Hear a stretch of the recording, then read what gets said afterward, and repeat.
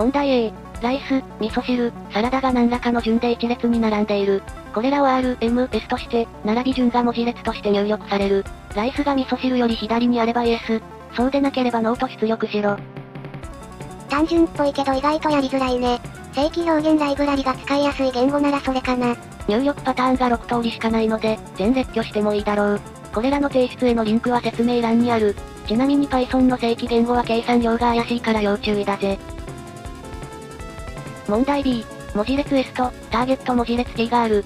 1以上 S の長さ未満の横幅 W を選び、W 文字ごとに改良しながら S を書く。この時、ある列を縦に読むと T と一致することはあるか？文字列の長さは100まで。じゃあ横幅を1から99まで全部試して、どの列を読むかも全部試すよ。実際に改良しなくても W 文字ずつ拾えばいいが、してもいいぜ。問題 C。箱とボールが N 個ずつある。各ボールの重さと、どの箱に入っているかが入力される。ボールは他の箱に移せるが、重さの分だけコストがかかる。どの箱にもボールが一つある状態にするための最小コストは ?N は最大10万で、そろそろ時間は無限にはない。他の箱にボールを移す、って言うけど、捨てちゃってもいいよね。まあ、箱は確実に足りてるしな。ってわけで、箱ごとに一番重いのを残して全部捨てるよ。問題で直線上に幽霊アリが N 率いる。幽霊アリ彼らの向きと初期座標が与えられる。これから T 秒と少しの間、彼らは自分の向きに速度1で進む。幽霊ってのはすれ違えるってことか。すれ違いは合計何回起きるか？アリは最大20万匹。すれ違いは違う向きじゃないと起きないから、右向きのがそれぞれ何匹の左向きのとすれ違うか数えて、合計すればいいね。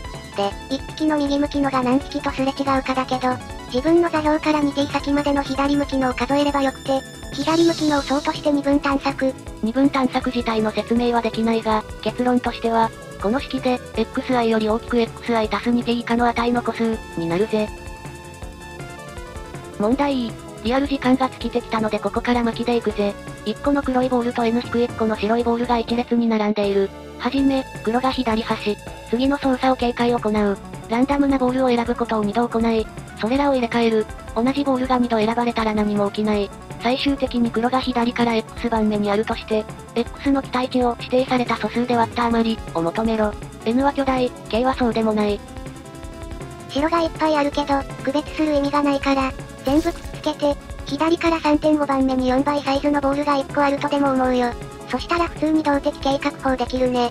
素数がって部分は中身とほぼ関係なくて、割り算をしたくなったら情報の逆減をかける、と把握しておけばこの段階では十分だろう。問題 F。ここから超特急で行くぜ。数直線上の整数座標を単点とする平区間が N 個与えられる。区間と区間が交わるとは、共通部分の長さが1以上で、かつ一方がもう一方を含まないことを言う。黒は赤と黄色と交わってるね。N 個の区間のうち可能な限り多くと交わる平区間を出力しろ。ただし単点は0以上10億以下の整数で、複数あったら辞書順最小のものにしろ。N は最大10万。区間を平面上の点だと思うと、交わるかどうかは2つの長方形のどっちかに入るかだから、定番の平面操作タスチェーンセグメントツリー。よかったらチャンネル登録してほしいぜ。ご視聴ありがとうございました。